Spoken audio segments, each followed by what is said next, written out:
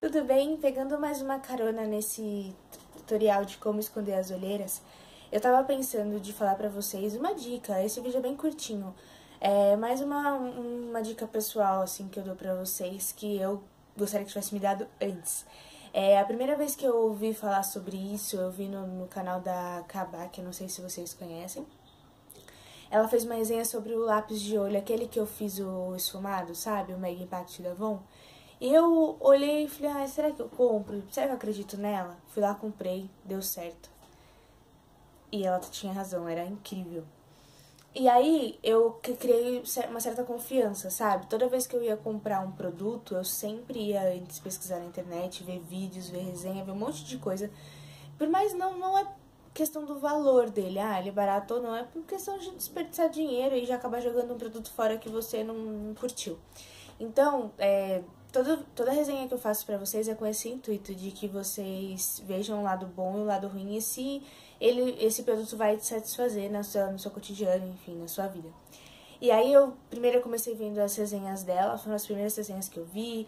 Eu vi sobre shampoo, tinham também sobre a ampola mágica da Pantene, eu usei e adorei. Então isso foi me incentivando cada vez mais a ler resenhas de pessoas que eu confio antes de comprar os produtos. Existe resenha desde livros, jogos, é, maquiagem, tudo que você possa imaginar.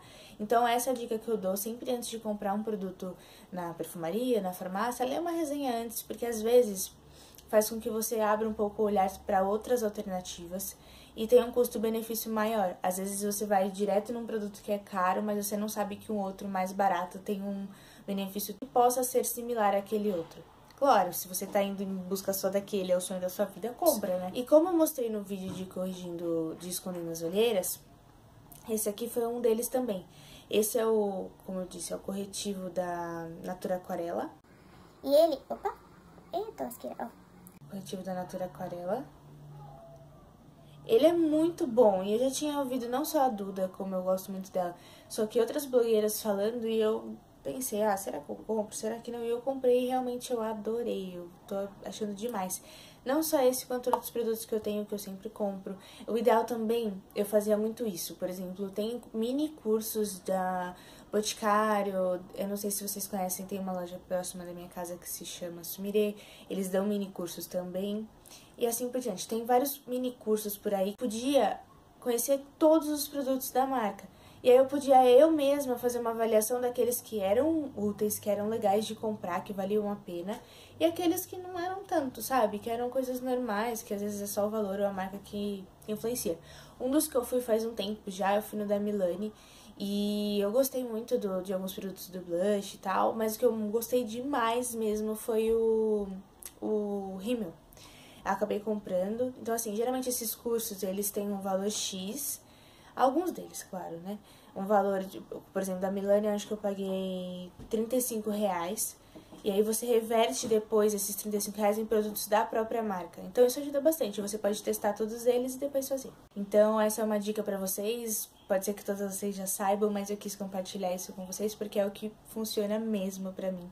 Antes de eu comprar um produto, um batom, um corretivo, um pincel, a neurótica das resenhas, né? Eu tô mostrando esses produtos só para compartilhar com vocês. Eu não tô recebendo nada nenhum incentivo por trás disso. E mesmo quem recebe, mas é de verdade, é uma pessoa que realmente faz isso porque gosta, ela não vai te recomendar um produto porque ela tá sendo paga para isso. Ela vai recomendar só se for bom de verdade. Por isso que as blogueiras que eu gosto, que eu sigo, eu acredito nelas porque eu acho que elas realmente seguem esse pensamento de que só vou indicar o que é bom e não sempre o que é mais caro ou o que tá mais na moda e tudo mais. É isso, gente. Eu espero que vocês tenham gostado como sempre. Se você tiver qualquer dúvida, me fala aqui embaixo, ou no Facebook, ou no Instagram, ou no blog. E principalmente eu queria saber a opinião de vocês. Se vocês gostam das resenhas que eu tenho feito ou tudo mais, deixa um comentário aqui pra mim, dizendo algum outro produto que você queira saber, ou como funciona, ou se ele dá certo pra sua pele. Enfim, tudo isso que eu respondo vocês, tá bom? Muito obrigada mesmo. Um beijão e até a próxima.